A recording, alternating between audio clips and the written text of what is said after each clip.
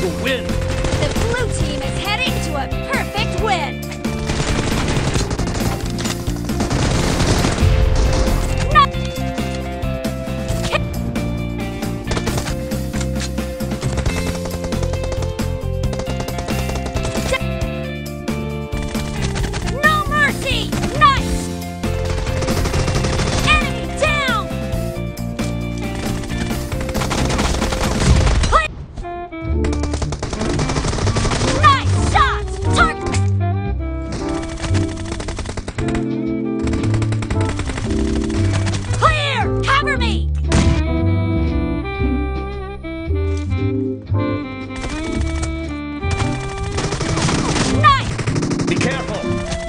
The game. The red team is about to